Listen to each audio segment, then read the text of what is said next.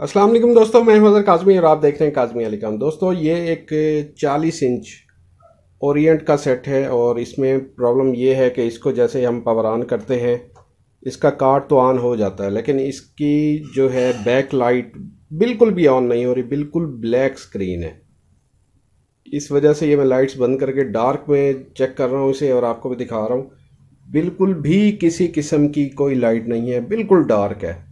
اور اس پہ اگر لائٹ بھی اوپر سے لائٹ مار کے دیکھی جائے تو اس سے بھی کچھ اندازہ نہیں ہوگا کہ اس میں کیا مسئلہ ہے۔ اور جو یہ اورینٹ کی ہے تو اورینٹ کی کچھ ماڈلز میں سٹارٹ اپ ٹون آتی ہوتی ہے تو وہ بھی اس میں نہیں آ رہی۔ تو ابھی اس کا جو دوسرا حل ہے ہے تو اس کی بیک لائٹ کا ہی ایشو شک تو یہی ہے۔ اب اس کا دوسرا حل یہ ہے کہ اس کے ساتھ کیبل لگا لی جائے۔ اگر یہ اے ٹی وی سورس پہ ہے ٹی وی سورس پہ ہے تو کیبل میں یہ ہے کہ جب چینل پلے ہوگا تو اس کی ساؤنڈ وغیرہ آنی چاہیے تو میں اس کے ساتھ کیبل کنیکٹ کر لیتا ہوں، پھر دیکھتے ہیں۔ جی دوستو، اس کے ساتھ کیبل کنیکٹ کر لی ہے، اب اس کو جو ہے آن کرتے ہیں۔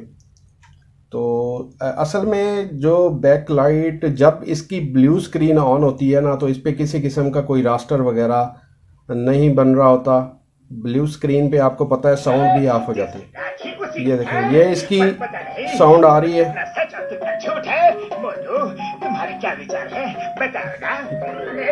یہ اس پہ موٹو پتلو ہاں آن ہے جی۔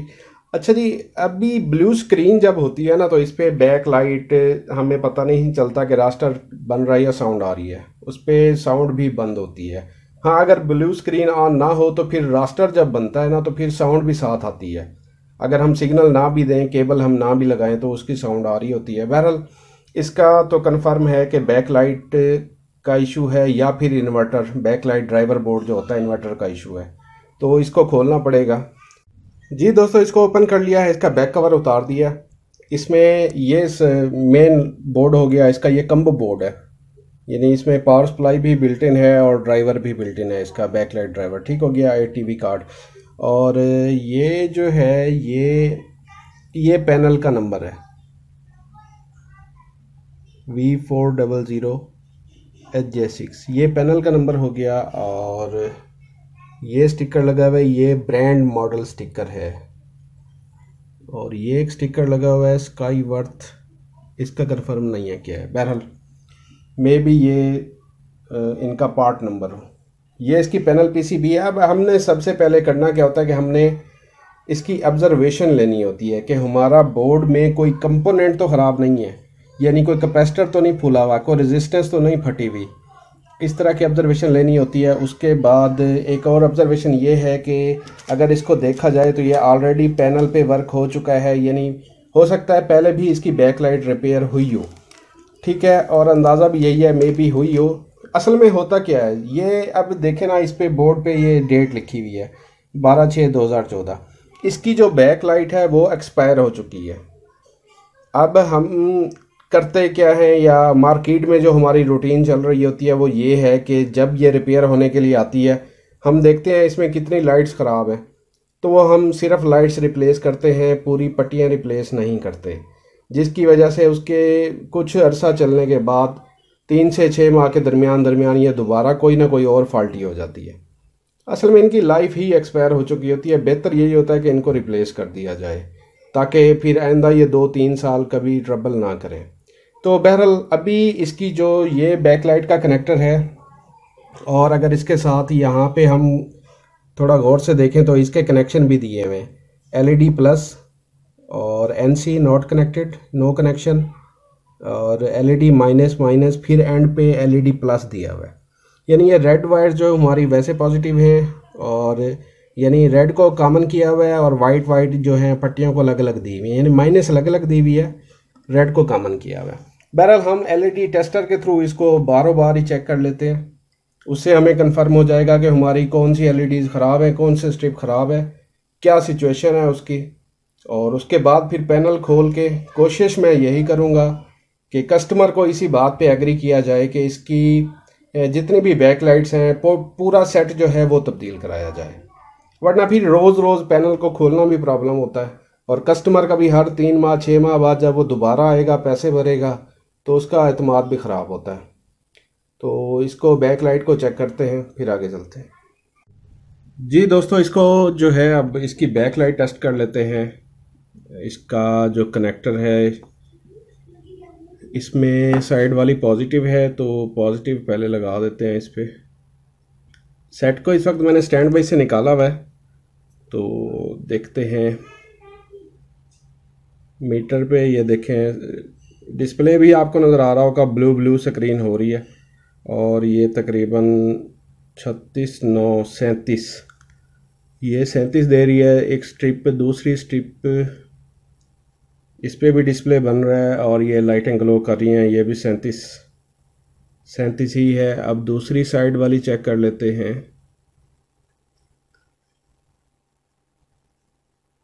اس پہ بھی ڈسپلے بن رہا ہے۔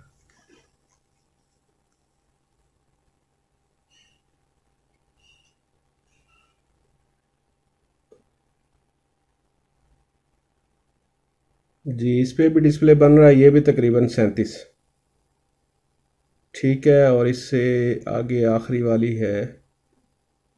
اس پہ بھی ڈسپلے بن رہا ہے، اور اس پہ بھی تقریباً سینتیس۔ اس کا مطلب ہے، یہ بیک لائٹ تو ہماری بالکل ٹھیک ہے۔ یہ دیکھیں، یہ اب زیادہ روشن ہو گئی ہیں۔ یعنی بیک لائٹیں ہماری ٹھیک ہیں، بالکل برابر برابر وولٹیج لے رہی ہیں۔ تو اس کا مطلب ہے کہ اس میں کوئی لائٹ خراب نہیں ہے۔ تو اب ہوگا کیا؟ اب جناب فردر جو سٹیپ ہے، یہ ہے کہ بیک لائٹیں ہماری ساری اوکے ہیں۔ ہمارے اس کے بیک لائٹ انورٹر پورشن میں مسئلہ ہے۔ تو اس کو میں دوبارہ سے الٹا کر لیتا ہوں، پھر آپ کو بتاتا ہوں کیا کرنا ہے۔ جی دوستو، اس کو میں نے سیدھا کر لیا ہے۔ اب ہم نے اس پہ کیا کرنا ہے، میں آپ کو ڈیٹیل سے بتاتا ہوں۔ سب تو سب سے پہلے تو یہ کنیکٹر واپس لگا دیتے ہیں۔ اس کے بعد یہ جو انورٹر سیکشن ہے، اس کو تھوڑا سا کلیئر کر لیں۔ کوئی ڈسٹ وسٹ ہو یا کاربن ٹائپ اگر آپ کو کوئی نظر آتی ہے تو وہ دیکھ لیں۔ اور اس کو ایک نظر غور سے دیکھ دیکھ لیں۔ اس کے بعد اب ہم نے کاروائی کیا کرنی ہے کہ ہم نے یہ جو فلٹر کپیسٹر لگے ہوئے ہیں، ان اس پہ انورٹر کے وولٹیج چیک کرنے ہیں۔ آیا کہ یہ بوسٹ ہو رہے ہیں کہ نہیں ہو رہے۔ ٹھیک ہے بیک لائٹ ہماری ٹھیک شو کر رہی ہے، تو یہ کپیسٹر ابھی فی الحال یہ دیکھیں کپیسٹر بالکل ٹھیک ہے سمارٹس کپیسٹر ہیں بالکل۔ ایسے لگ رہا ہے جیسے بالکل ورکنگ اچھے کپیسٹر ہیں، لیکن ہو سکتا ہے اکثر ان کا فالٹ نکلتا ہے۔ اور یہ بالکل ٹھیک بھی ہوتے ہیں، لیکن ہو ان کا فالٹ ہوتا ہے۔ تو اب ہم نے کرنا کیا ہے کہ ہم اس کے جو ہیں وولٹیج میئر کر لیتے ہیں۔ سیٹ کو جو ہے، ہم سٹینڈ بائی پہ رکھ لیتے ہیں۔ سٹینڈ بائی پہ رکھنے کے بعد ہمیں ایک ملٹی میٹر چاہیے۔ ملٹی میٹر کو ہم رکھ لیتے ہیں دو سو کے اوپر۔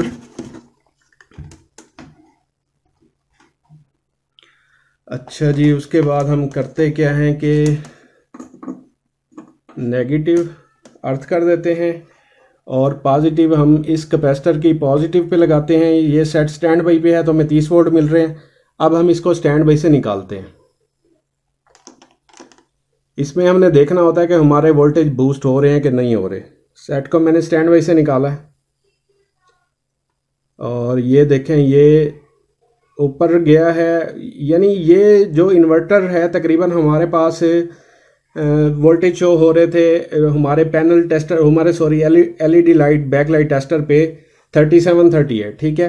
تو جیسے تقریباً یہ اوپر ساٹھ وولٹ تک جاتا ہے۔ پہلا جھٹکا ہم جسے کہتے ہیں نا تو وہ ساٹھ وولٹ تک جاتا ہے، اب یہ واپس آ کے سٹیبل ہوا ہے۔ سٹیبل ہوا ہے، اس کا مطلب یہ اس کی بیک لائٹ آن ہے۔ ایک منٹ ٹھہرے جی بیک لائٹ اس کی۔ یہ دیکھیں۔ یہ اس کی بیک لائٹ آن ہے۔ اس وقت اس کی بیک لائٹ آن ہو چکی ہے اور یہ الیکٹرانکس میں اس قسم کے معجزات ہوتے رہتے ہیں۔ اس کا ڈسپلے بھی دیکھ لیتے ہیں۔ لیکن اصل میں مسئلہ جو یہ دیکھیں ڈسپلے بھی بن رہا ہے اس کا بالکل۔ ٹھیک بن رہا ہے کیونکہ بیک لائٹ ہماری ٹھیک ہے۔ مسئلہ ہمارا یہیں انورٹر سیکشن میں ہی ہے۔ اور ہو سکتا ہے انہی جو ہے فلٹر کپیسٹر جو میں نے آپ کو بتائے ہیں، ان میں ہی مسئلہ ہو سکتا ہے۔ یہ اکثر جو ہیں ٹائم ٹو ٹائم کیونکہ کافی پرانا بورڈ ہے، یہ چل چل کے ڈرائی ہو جاتے ہیں۔ ہیں بھی چھوٹے تو اس کو ایک دفعہ سے دوبارہ سے ہم اس کو آف کرتے ہیں۔ یہ بیک لائٹ یہ آف ہو گیا اور دوبارہ سے اس کو آن کر کے دیکھ لیتے ہیں۔ یہ اگر یہ فی الحال ابھی ورک کر رہا ہے تو یوں سمجھ لیں کہ یہ ٹیمپریری بیسس پہ ہے۔ ابھی دوبارہ یہ آن ہو چکا ہے۔ لیکن یہ ٹیمپریری بیسس پہ یہ اس کا پرماننٹ سولوشن نہیں ہے۔ اگر ہم اس کو تھوڑی دیر سٹینڈ بائی پہ رکھیں گے تو یہ دوبارہ سے بھی اسی فالٹ پہ جا سکتا ہے یا کچھ دیر اس کو نہیں چلائیں گے۔ تو عموماً گھروں میں تو ایسا ہوتا ہی ہے، ٹی وی جب بند کیا تو پھر کئی گھنٹے بعد یا اگلے دن سٹارٹ ہوتا ہے۔ تو یہ دوبارہ مسئلہ کرے گا۔ یعنی کہ ابھی فالٹ اس میں ہے۔ اور امید بہت ہے، کافی امید ہے۔ یقیناً جو ہے فالٹ انہیں کپیسٹرز میں ہی ہے۔ تو کیونکہ بیک لائٹ بھی ہمیں بالکل پراپر مل رہی ہے۔ وولٹیج بالکل سٹیبل ہے ان کے۔ برابر برابر وولٹ ہیں سب ایل ای ڈیز کے۔ تو فالٹ انہیں فلٹر کپیسٹرز میں ہی ہے۔ تو بہرحال یہ ہمیں ٹریس ہو گیا۔